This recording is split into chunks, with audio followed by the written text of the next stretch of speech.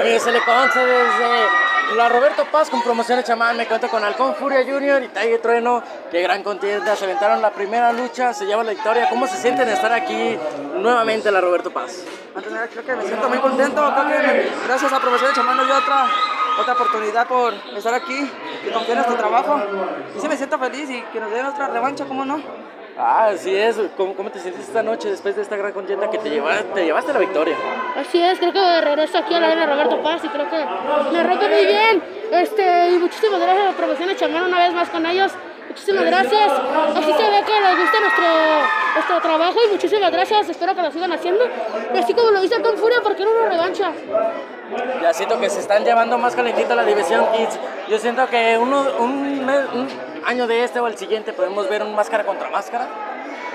No sé, puede que sí, puede que no.